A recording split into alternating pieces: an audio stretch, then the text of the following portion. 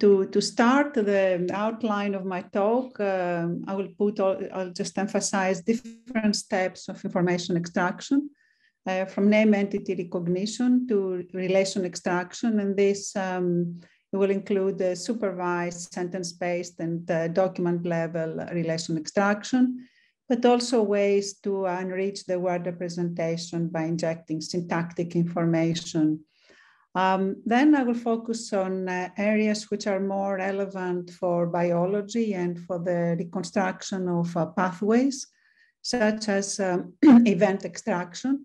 And in event extraction, uh, nestedness and nested events are very important, especially for uh, the area of biomedicine. And I will conclude with um, uh, the identification of uncertain events and uh, with a one application, which is basically how we can develop a, a systems that incorporate uncertainty for ranking the events.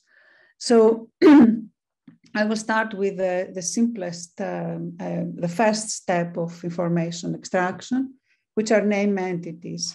And uh, this will include nested entities. So the, the notion of a nestedness will be part of my talk and an application. So um, why this is important, what are the usefulness of nested entities. Uh, it's a very first component of different, uh, uh, several downstream tasks, relation extraction, event extraction, and search. And uh, also you can use a name entities for risk analysis and different types of classification based on, con on contained entities. Now, one of the challenges, of course, of uh, nested entities, especially in biomedicine, is that they contain lots of nested. Uh, as you can see in uh, the right-hand side, interleukin-2 receptor alpha has protein uh, interleukin-2 nested, or very often we have, like in the second sentence, narcotic-induced respiratory distress, we have overlapping, we have ambiguous, so we could be an adverse drug event and a reason. So in, um, for all these type of, uh, for all these reasons, we need to have um, additional context to disambiguate nested uh, uh, name entities. And uh, very often I have to say that still is quite difficult if we want to go with very fine grained entity categories. So um, um, um, the, obviously, as I said before, the whole concept of nested is that uh, they're typically embedded in uh, longer entities, uh, as, as we see here. So um, uh, it's basically something which is extremely common. Uh, I'll mention um, uh, one approach, there are several approaches of uh, dealing with nestedness. Uh, and I will mention the work of uh, we have done with Meizhi Ju and Makoto Miwa on a neural layer model for nested um, name entity recognition.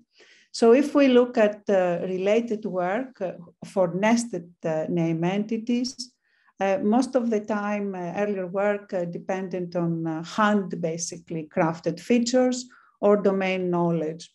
Um, so um, there is, of course, work on uh, neural networks, but they didn't really consider the dependencies between the nested entities.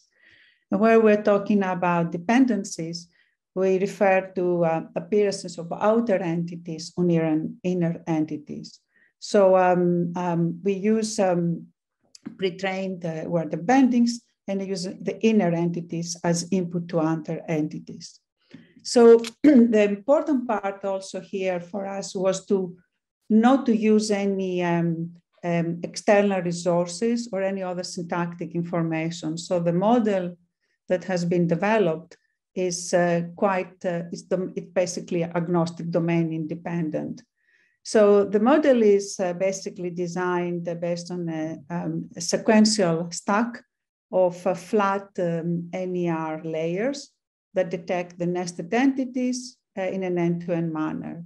So um, um, the, the flat, each flat uh, NER layer consists of um, um, a CRF, a single uh, LSTM layer, and a CRF layer. So if we have the following sentence of model interleukin, uh, we have two entities, a protein and DNA.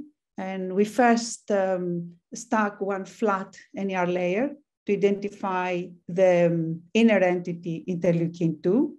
which is then further used as input to identify the outer entity interleukin 2 receptor alpha gene expression. And the model stops stacking the flat NER layers until we don't, uh, we cannot detect any more entities. So um, um, the basic uh, idea of the model is that uh, it reuses uh, the same NER layers, extracts uh, entities in an inside-out sound manner, and uses dependencies among the nested entities and is also independent of different resources. So for the experimental evaluation, uh, we can see the performance of our model and other related work. And uh, we applied this on two types of corpora. One is a general uh, language like ACE 2005, and GENIA, which is uh, for a, a, corpus specifically developed for biomedicine. And we can see the performance uh, on both uh, um, you know, data sets. We have applied, uh, or applied this model in several other tasks uh, for, for instance, extracting uh, PICO elements for systematic reviews or COPD, etc., which I, I'm not going to mention. Basically, uh, it's a, a very uh, important step for us to identify neural, uh, basically nested entities for the subsequent steps. So uh, now I think I like I would like to mention um, something that we can do. We we can develop basically mention mentioning only the name entities. And uh, um, an important application for us was to do semantic search based on the whole of PubMed um, the PubMed abstracts.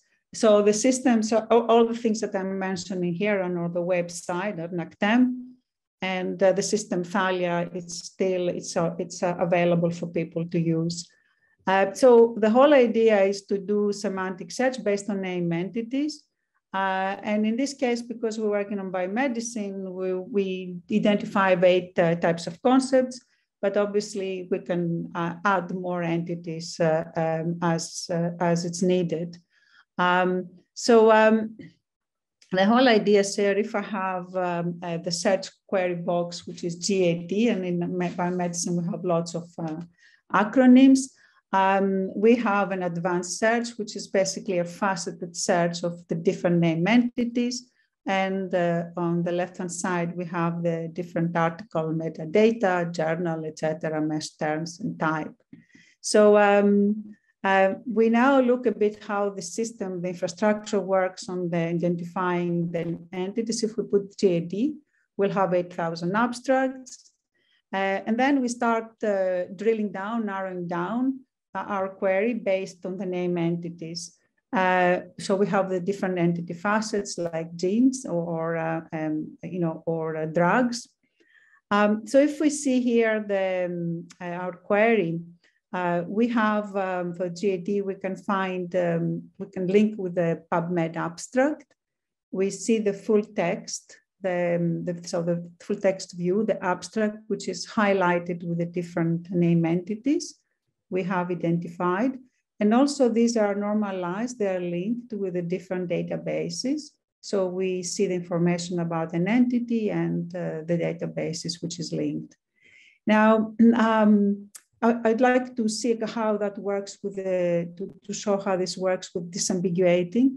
An acronym like uh, GAD uh, can be both a gene and can be a disease. So if I want to narrow, now, narrow it down as um, uh, a gene. I have 1,000 abstracts, so I now narrow down my search. Or uh, if I want to have, for instance, disease, uh, I could have a different set of documents. Uh, behind the scenes, uh, the, behind the, in, the, in the back end, there are other um, components that we have used, such, for instance, uh, acronym recognition and acronym disambiguation that um, identifies the acronyms and expands them automatically. So basically it's the creation of the dictionary to be able to do that. Um, so we can, of course, have a Boolean search like um, genes uh, uh, as, a, as a gene and also uh, use, um, uh, you know, finding diseases and genes at the same time, like schizophrenia, etc. So um, as, as we see, the more we um, we narrow down and the more we're combining different searches based on name entities, we have uh, uh, more, we, we basically, we, we don't need to search so many abstracts in PubMed. Um, the system is, uh, we update it uh, basically once a year. Now we're about to update it. So if you use it, um, uh, we're going to do it in the next couple of weeks. So um, the next step of uh, my talk is about um, relations, uh, which is the next step of uh, information extraction. And the relations uh, have, uh, they're first of all based on um, sentences. Uh, and both in those cases, it's mostly supervised techniques. I decided to omit unsupervised methods we have developed, but also um, document level and syntactically informed the presentations. So again, relation extraction is an important part of other tasks like event extraction, which I will mention later, but also question answering and also search based on relations and any type of uh, extraction of structured information from raw text. Uh, because my topic is uh, biomedicine, I will mention um, two applications, drug-drug and gene disease uh, associations from uh, electronic health records. Um, so these uh, applications and other applications, what we have done, which I'm not going to describe, is how we constructed uh, a knowledge graph with, based on relations and entities, and um, uh, how we actually developed networks with reactions to drugs. So to start about this is uh, the, um, uh, you know, we're talking about electronic health records. We want to extract relation extraction. Uh, uh and since uh, uh, the automatic extractions, um, basically automatic extraction of associations between biomedical entities from health records is quite challenging. And the reason that um, the, the extraction is challenging is first of all that the context is not always present. Uh, as we can see in this uh, example, uh, for instance, the humans infer relations between bacterium and rash, but however, it's something quite you know, difficult to model. At the same time, the, there are positive things that patterns express um, specific relations between entities without having any, for instance, uh, a supportive context. So we have patterns like drug, strength, form, which we can uh, take advantage of. So the work I'm mentioning is something that we participated in. Um, the, the, good thing also in uh, this domain is there are lots of shared tasks and lots of uh, label data that we can uh, leverage. Uh, so we participated in uh, the N2C2 shared task in 2018, which are basically um, and contained annotations, discharge summaries, from uh, uh, MIMIC uh, 3. So we see here the types of entities and the relations that they are part of this corpus.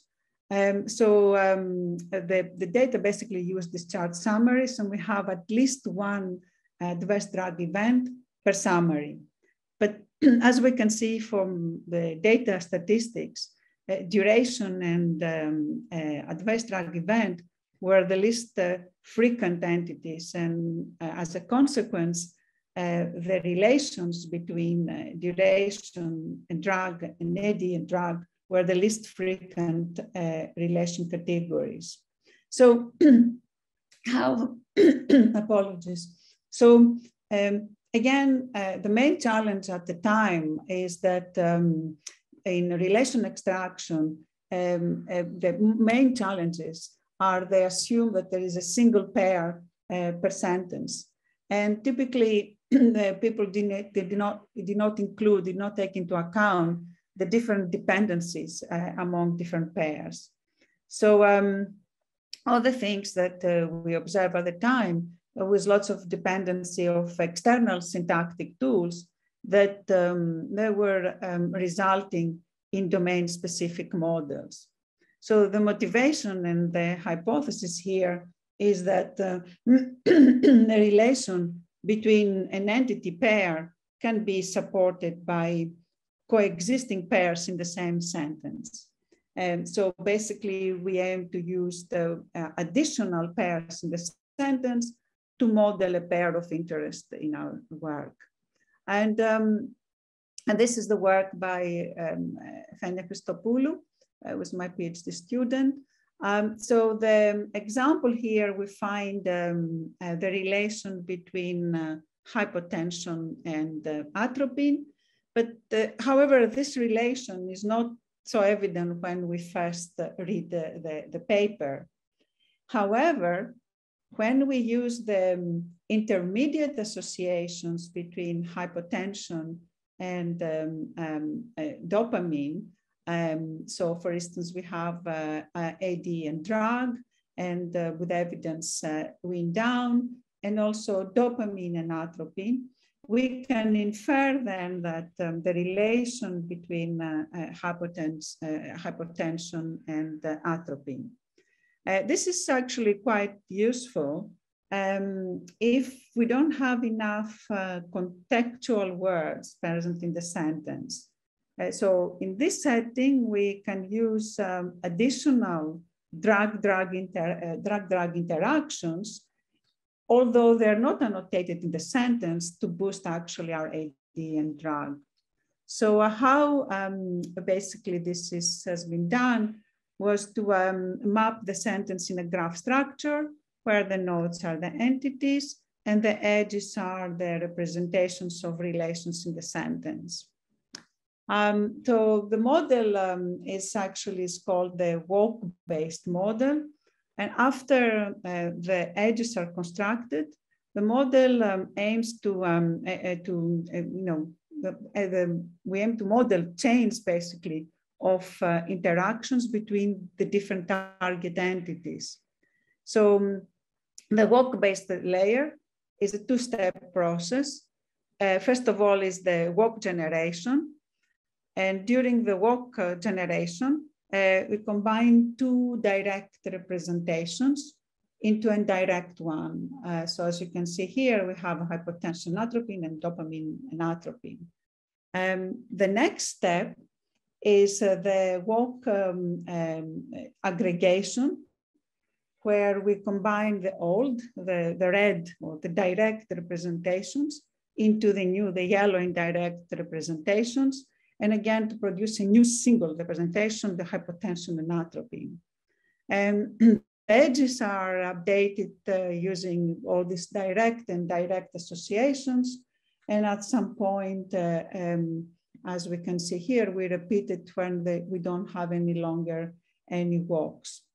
So that's the model. and um, I, will just uh, skim a bit about the experimental evaluation, but an important part is we wanted to find out if by adding additional drug-drug interaction interactions that uh, we we found out and they were not part of the of the data, the annotations, we can help the model performance. And um, we found out that basically this was mostly the case, although sometimes not not very evident, because we can see that the frequency, for instance, and, and drug and reason and drug have improved performance with um, additional uh, DDIs. Um, uh, but uh, at the same time, uh, uh, for reason uh, um, and drug, we see slightly deterioration. And also this can be explained because sometimes the, um, the, the, semantic types are confused, the reason and ADI. So, um, and also reason is also a more um, uh, frequent class. Um, so basically, and the whole idea is here to use the walk-based model to produce uh, a relation extraction. But um, this is based still on sentences. And the next step is now to extract um, uh, relations, which are um, a, document level. Um, so again, this is uh, very important because um, uh, you know we have two types of relations based on entities and based on concepts. And uh, in the first scenario, the entity based, we consider the occurrence of each entity as um, um, a different, basically, name entity. So oxytocin and ox are different. But in the second, we consider them the multiple occurrences as mentions of a, a specific concept, which is um, basically oxytocin. So both of them belong to the same uh, concept. And to do that, um, we use um, multi-instance learning. And the goal is to determine the relation of a pair based on all pair instances. So these uh, multiple instances are called mentions, and the cluster of the instances are called um, concepts and entities. Uh, so an intuitive example of uh, what we call now intra or inter-sentence associations is shown in this um, uh, you know, paragraph in this abstract. And we can see different observations. First of all, um, intersentence uh, associations require some kind of logical reasoning and inferencing. Uh, very often entities occur early, like in the sentence, like scotoma, for instance. And some sentences are not uh, so much informative for the association we want to find, like, for instance, the second sentence. So um, uh, for that, co continuing with the whole the idea of, um, of graphs, uh, in this case, um, um, a follow-up work was published in uh, at the EMNLP in 2019, was to construct a graph, a sparse graph, um, which has multiple nodes. So it's a heterogeneous graph. It has entities, as I mentioned before, dimensions, but sentences and different types of edges. So um, basically the model in this case uh, deviates from existing graph models because it focuses on constructing uh, uh, unique nodes and edges, but the information it uh, incorporates in, into edge representations rather than node representations. Um, so um, the model now in case creates new paths between the nodes and we can update the existing path. So for instance, we can see we create a representation for the path between the yellow node and the brown node. So um, the, the whole um, um, uh, you know, model consists of uh, this uh, five layers, uh, the document sentences and the entities and dimensions because it's uh, supervised are assumed given. Um, the sentence, the sentence encoded layer, where we construct contextualize the sentence uh, level word representations. And this, of course, can be uh, replaced by any encoder like BERT or BioBERT, etc. Uh, the graph construction la uh, layer is what I mentioned before, where we construct the document level graph with different types of nodes and edges. Then is the, the inference when we create the paths uh, between um, the concepts of interest and then the, the classifier. Um, so um, important part is also here that the, model is um, independent of uh, any syntactic uh, dependency tools and can achieve state-of-the-art performance uh, on manually annotated and document level, for instance, data sets. Um, so uh, I'll give you some of the um, experimental evaluation. Um, so um, we um, tested the model on two uh, biomedical data sets. the first is the chemical and disease, uh, which is um, um, a data set which is human annotated and contains 1,500 uh, um, abstracts. 30% are intersentence. And the other one is um, um, a corpus which has been created by distant supervision, the gene disease.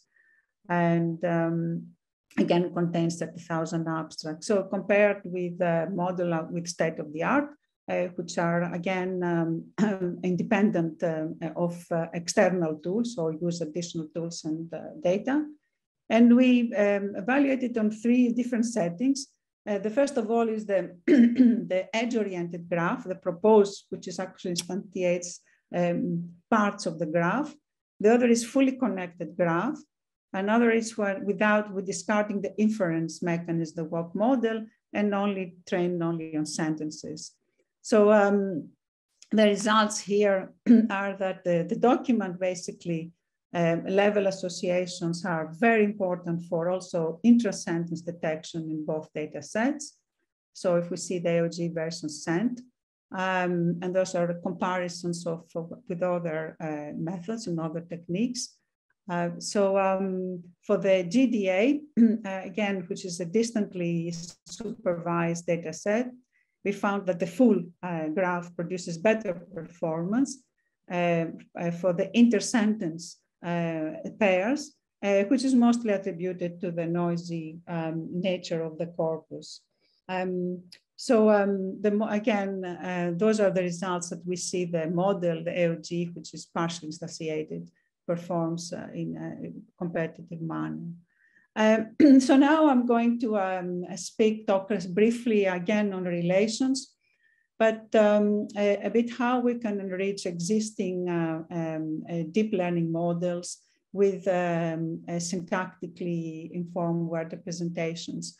Uh, this is the work of my PhD student, Thy Tran, has been published in Neurocomputing.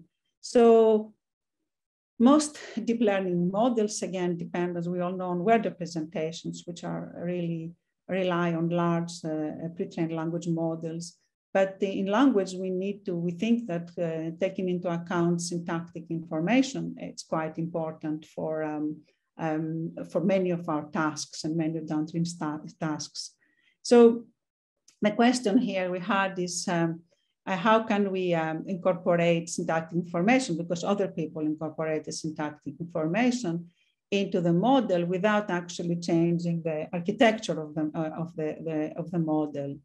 Um, so our the premises here, what our hypothesis that the, syntactically informed representations um, could actually incorporate syntactic information into the neural models without changing the, their architecture. So how this is happening? So basically, uh, we construct the, the CIWRs based on both uh, static, um, like word2vec, and contextual representations. So, um, and then we use basically the pre-trained word representations uh, as base representations, and they, so we feed them into a, a graph-based encoder. But also we can use existing syntactic tools which are basically um, um, automatically, we're using automatically labeled data rather than gold uh, uh, corpora. So um, um, the, the, the, main thing is that uh, the graph-based um, encoder uh, is the core component which actually integrates syntactic information. And for this, we mean dependency parsing and part-of-speech tagging. Um, so this type of information is then injected into the embeddings of, uh, of uh, the GCN. And uh, then we, we try to, we evaluated the, um, how this syntactic information, the injected syntactic information can actually um, improve several tasks. Uh, so then we're using the CIWRs to compare uh, different performance. So basically, the, the goal is really um, to incorporate uh, dependency uh, context into the word representations. And um, we use basically dependency tree structure, the, the, the, nodes are the words, and the edges are the dependency relations. Uh, and uh, we pre-trained the CIW model to jointly capture both uh, dependencies and tagging and uh, to, to uh, preserve word order because it's important in language, we add the previous and the next word uh, connections to um, uh, the words. Um, so some uh, results of that work, um, basically um, um, it, for us to, to, to, we compared with word2vec and with PubMed, um, ELMo, and then we compared the SWR, our method, with ELMo and PubMed. Uh, so um, for the binary, so we used also for name entities, which I don't include here. For the binary uh, uh, relation extraction data set, we use ELMo. And then uh, for the ternary, which is basically the events, we use uh, PubMed as base representation. And um, by the way, um, we, we, we see here that the results actually show that by injecting syntactic information improves uh, the performance of these tasks. So to summarize that uh, uh, for, um, and perhaps I will talk about a bit about these uh, uh, conclusions tomorrow. Um, for large scale, large scale pre-trained language models, we want to um, explore basically the syntactic information in a large amount of data.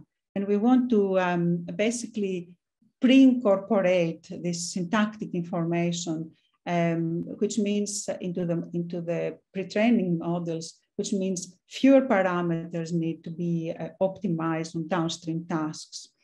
Um, also, um, existing methods which are try to incorporate uh, linguistic uh, constraints to PLMs, typically requiring training from scratch in a multi-task learning setting. And this is uh, computationally expensive and time consuming. So one other outcomes of this work is uh, uh, not type consuming and avoids actually pre-training models from scratch. Um, so um, basically by pre-computing word representations and injecting the syntactic knowledge, we enrich the uh, pre-trained language models. Uh, now I'm going to the last uh, part of my talk. Um, and this is um, um, about uh, event, uh, see sorry. Okay. I have another 15 minutes, I think, yes. So uh, the last part, which is uh, because I'm talking about biomedicine, is events, and I'll talk about event extraction and nested events and uh, uncertainty. So one of the, the reasons we worked on, on events is because we wanted to um, um, construct, to support the uh, biological model construction. And this is uh, largely driven by um, fine state statements. Uh, and these fine state statements are really uh, extracted and distilled from the literature. So this is actually quite important for any kind of pathway reconstruction because to find, you have to find entities, you have to find relations and events. And typically the events, um, they're n-ary relations, they show about, they show interactions between any types of uh, concepts.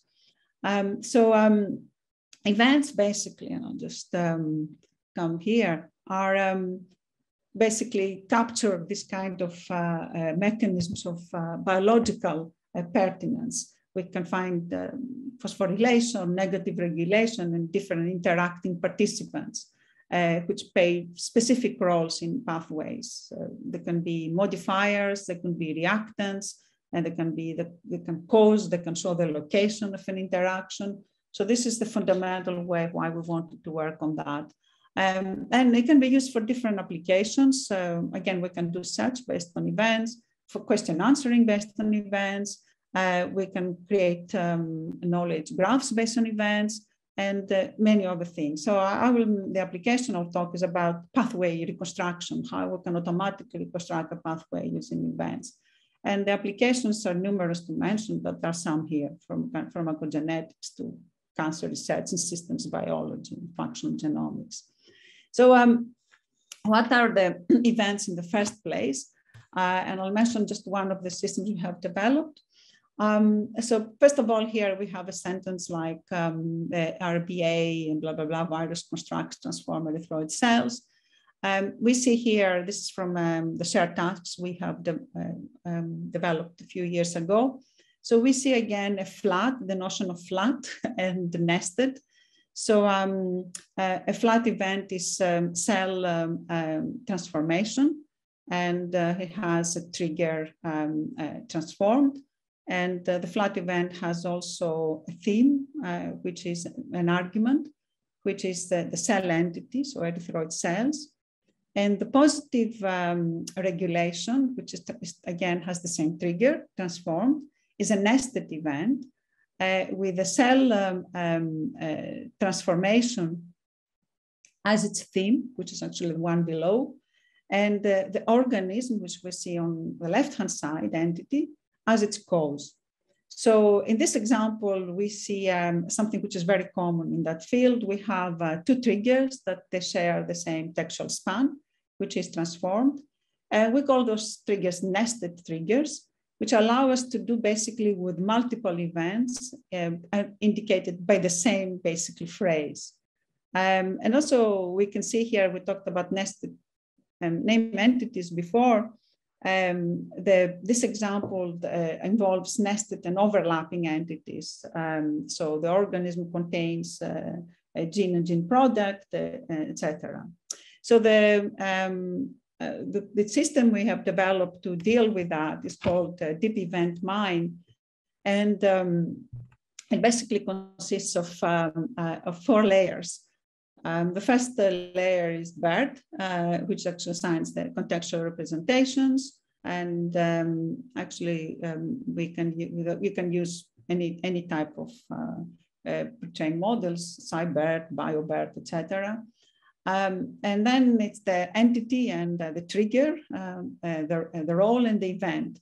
So the entity and the trigger layer assigns um, the um, entity and trigger types to overlapping text uh, spans uh, in a sentence.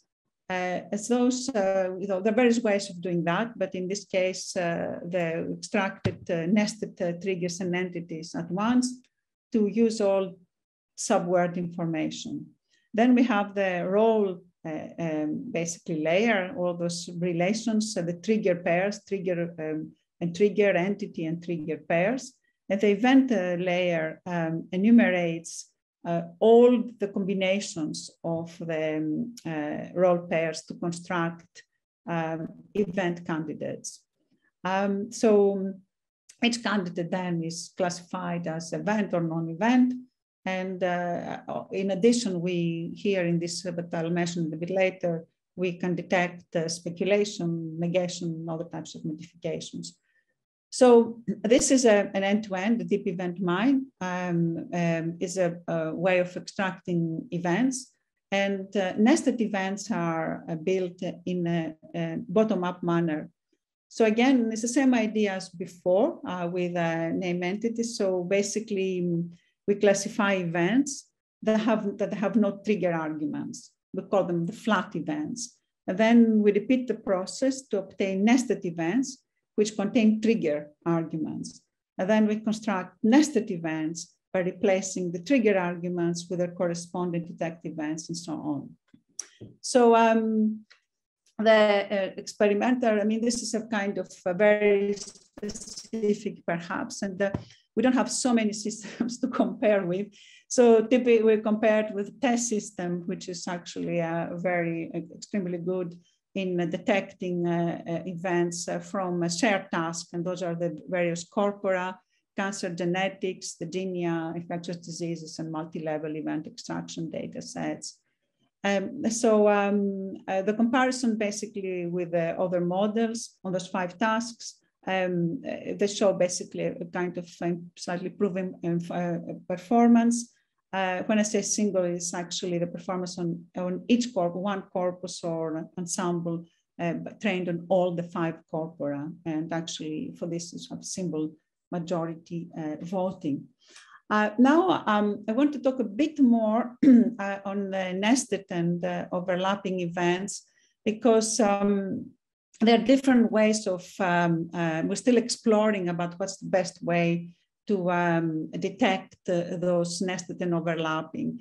So I, I mentioned about the flood events are predicted first um, and about the representations becoming arguments, but uh, how actually we identify and how we search through those event arguments um, is another discussion. So uh, one of my PhD students worked on, uh, uh, used the beam search um, to uh, find uh, for uh, to detect events. And this is, has been basically um, um, created, formulated in, in DAG structures. So um, unlike, um, um, you know, unlike the tree structure, DAGs again allow multiple paths between uh, two nodes and uh, because of that, they're more amenable to represent uh, event structures. So in here, this case, uh, DAG structure relation, uh, as we can see in the, in the, the, diagram, contains again the nested events, uh, E2, which is an event two, and event three, induction, cause and theme, and um, uh, in, incorporates the event one. So they're both E2 and E3 are nested and the common argument. So at this, uh, uh, basically, um, we see in the representation of events um, at the lower levels become the arguments of events at the uh, upper level events. Um, so uh, again, uh, the um, detection of um, events following the nested structures is quite important for the prediction of uh, and the causality of event relations. I think I'm running out of time. So um, I have to say a bit something about the, um, I have to, to skip certain things. Um, so I'd like to um, uh, talk a bit about uh, the results of the beam search because we used uh, different other techniques.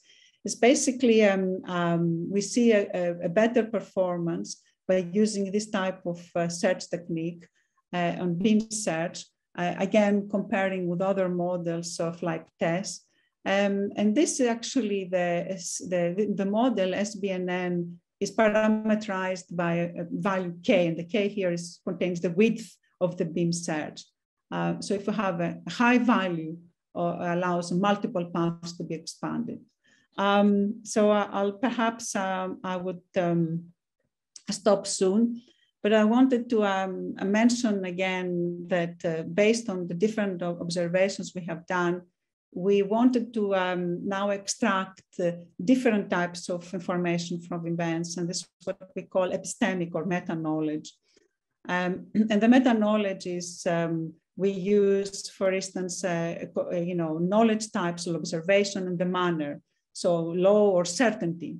So we focused a lot on certainty, and to give you an example of that, are, are those kind of sentences.